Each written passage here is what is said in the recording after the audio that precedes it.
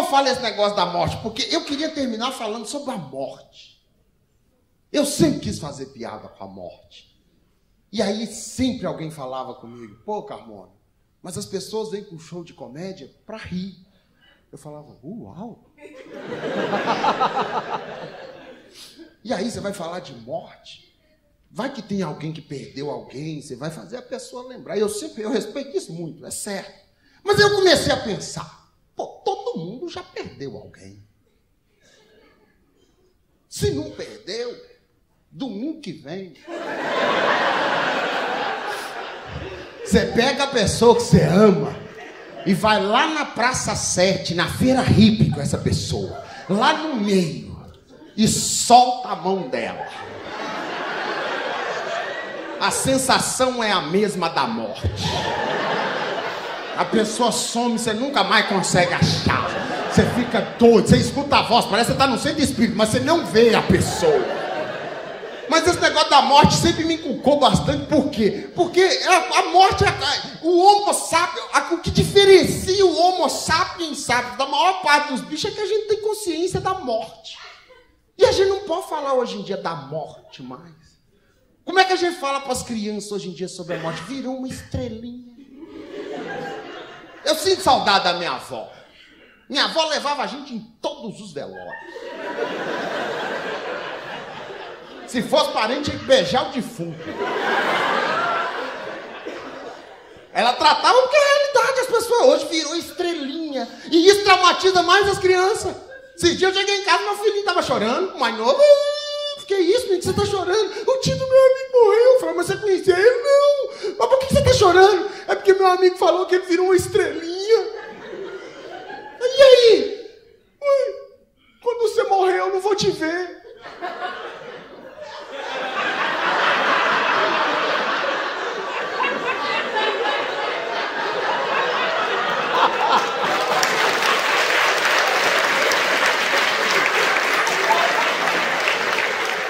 Tem que jogar real pros meninos, as pessoas. E o que eu acho doido da morte é que nós nunca estamos prontos para morrer. Nunca, não interessa, nem a gente, nem quem morreu. Morreu com 20 anos, mas morreu tão novo. Eu gosto é daquela tão bonito. Você tem que ser feio e morrer cedo ainda. Morreu com 30 anos. Ah, mas não terminou a faculdade. Por que, não entrou na faculdade mais cedo para terminar a faculdade e poder morrer com 30 anos tranquilo?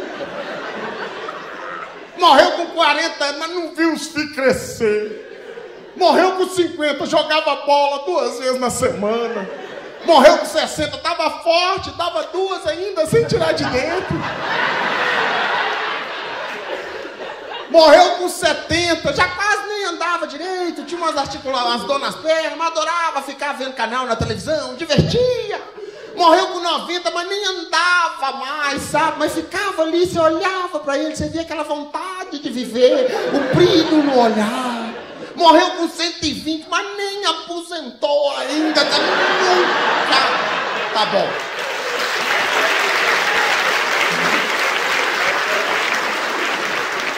Nunca tá bom pra morrer, nunca tá bom, sabe? O, o, o, legal é quando morre um amigo da gente. Quer dizer, não é. Essa frase ficou ruim pra caramba. Que ela continua, é ruim, né? Deixa eu falar a frase toda. O legal é quando morre um amigo da gente e tem um terceiro amigo em comum que não ficou sabendo. Então o amigo morreu, tem uma semana, passa uma semana sem encontra com o terceiro amigo. E esse teatrinho humano é muito bonito. Teatrinho humano é muito bonito. Porque, primeiro, a gente gosta da notícia ruim. Não, vamos ser sinceros com a gente. A gente não quer falar pra ninguém, você viu, fulano ganhou uma grana na Mega Sena. Não, a gente não quer contar, a gente quer falar, fulano tá com câncer. Aí a gente fala, câncer, a gente vai com a boca cheia. Você tá fazendo quimioterapia. Nós somos esquisitos. Aí você vê um amigo, sabe que ele não sabe, já rola aquela alegria no coração.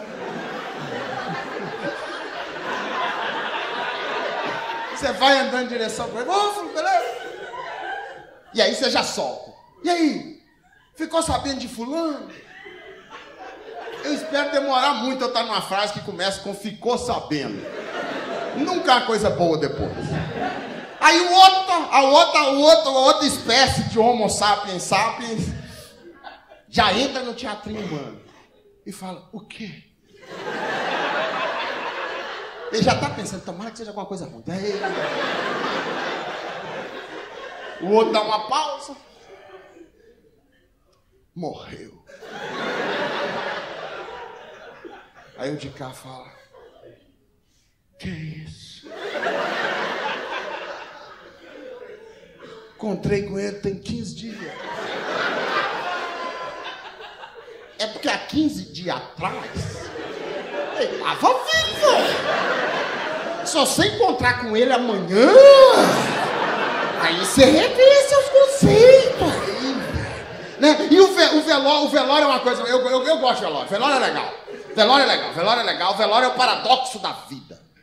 O paradoxo da vida está no velório. Que ao mesmo tempo que você está triste, com saudade de um parente você perdeu e não vai ver mais, você está matando saudade de outros parentes que você só vê em velório. Tem tia que lá em casa é chamada a tia do velório. A gente só encontra no velório. A gente não encontra no Natal, na Páscoa, é só quando morre alguém. A gente já sai falando até o próximo. Êêê! Tomara que a gente não esteja na horizontal. Né? E o velório é a prova. Eu, eu, eu tenho uma teoria que a gente devia morrer de manhã para ser enterrado de tarde. Porque o duro é virar a noite. A, a, virada da noite do velório, você descobre os seus amigos de verdade. É, porque aquele amigo que chega 9h40 no velório de um parente seu, sabe o que, ele pensou quando ele chegou em casa? Ele tomou um banho e falou: Vou lá, corro lá uns 20 minutos e volto a ver o jogo. Aquele que está lá três horas da manhã é seu amigo. E é muito sofrido um velório. Você passa. E é, é, e, aceitar a perda é uma coisa. E é doída essa noite. Aí você passa a noite no velório. Aí de manhã, na hora de enterrar, essa é uma das coisas que eu já falei que eu não quero. Quer dizer, tem uma coisa que eu quero no meu velório: um travesseiro no meu caixão. Isso eu quero. Para ajudar meus amigos a chegar perto e falar: não, parece que está dormindo.